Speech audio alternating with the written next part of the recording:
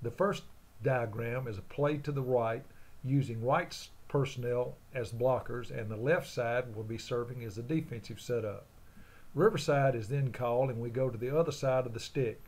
In the second diagram now the left side is blocking with the right guys playing defense. This is double teaching. Defenders and offenders can see blocks from both sides. It's really great reinforcement. The video clips will give you a wide and a close view of the Riverside drill. Note, we do very little correcting during this drill. We want maximum reps in shortest amount of time. This is generally a 10 minute drill featuring two to three plays.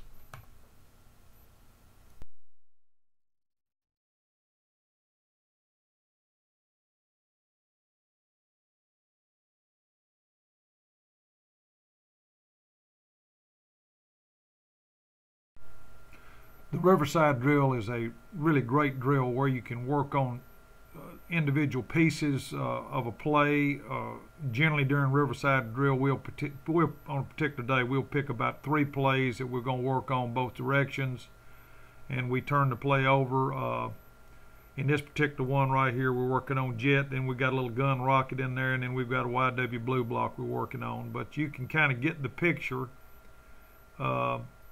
This kind of is a good way to drill it and get a lot of reps. Now I'm not showing you all the reps, but generally what we will do on a particular side, we will run the we'll run four or five reps one direction, and then we'll go riverside and run four or five reps the other direction, and then we'll riverside and change the play. So it's generally during a riverside drill we will generally do uh, all 15 to 20 plays. We'll do half of them on one side and half of them on the other.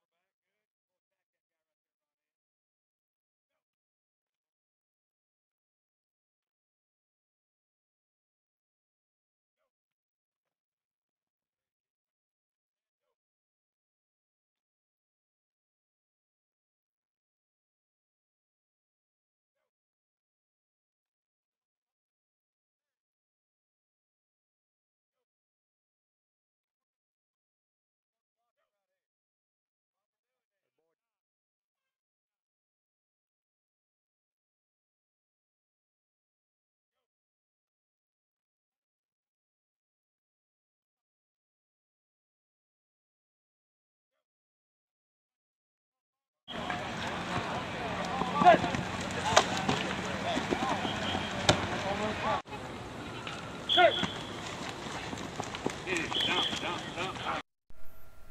hope you enjoyed the DVD and found it very useful. I hope you get a good idea too. Please visit my website at jetsweep.com. Thanks.